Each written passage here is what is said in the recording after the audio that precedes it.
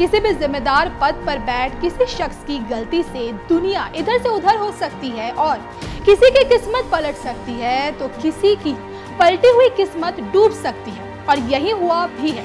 विश्व cup cricket के final match के दौरान जब क्रिकेट के फाइनल में न्यूजीलैंड और इंग्लैंड की टीमें खिताब जीतने के लिए मैदान में उतरी तो किसी को पता नहीं था कि अंपायर एक टीम के लिए देवदूत बन सकते हैं तो दूसरे के लिए खतरनाक।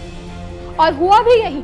आईसीसी वर्ल्ड कप 2019 के फाइनल में विवादास्पद रन देने वाले मैदानी अंपायर कुमार धर्मसेना ने ये बात मानी है कि वर्ल्ड कप फाइनल में इंग्लैंड को दो रन देना उनकी गलती थी और उन्हें एक रन देना चाहिए था। लेकिन मैंने एक और रन दे दिया और धर्म सेना ने श्रीलंका के अखबार संडे टाइम्स से बात करते हुए कहा कि अब टीवी पर रिप्ले देखने के बाद मैं स्वीकार करता हूँ कि फैसला करने में गलती हुई थी।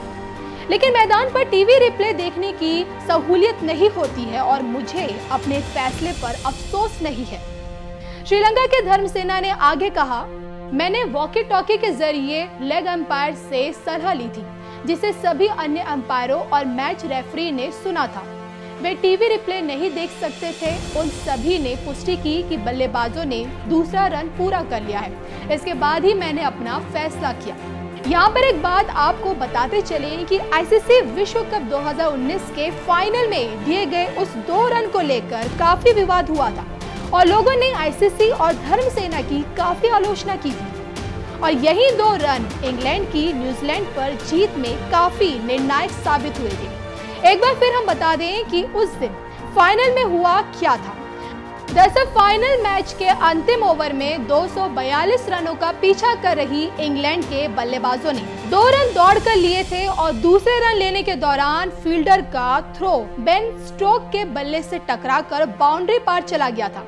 जिससे इंग्लैंड के खाते में चार रन आए थे। लेकिन मैदानी अंपायर कुमार धर्मसेना ने अपने साथी अंपायरों से बात करने के बाद छह रन इंग्लैंड को दे दिए। और इंग्लैंड इस फैसले से मैच में वापसी करने में कामयाब रहा और पूर्व अंपायर साइमन ट्रॉफिल ने हालाँकि अंपायरों के छह रन देने के फैसले को गलत बताया था और कहा था कि यहाँ छह रन के बजाय पाँच रन देने चाहिए थे, क्योंकि बल्लेबाजों ने दूसरा रन पूरा नहीं किया था।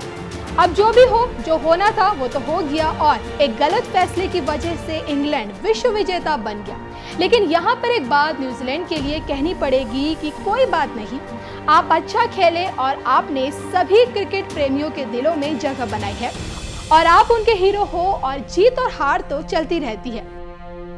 आप एक बार और तैयार होकर विश्व कप में आए और जीत ज़रूर आपके कदमों में होगी। क्रिकेट से जुड़ी हर अपडेट्स के लिए बने रहिए हमारे साथ।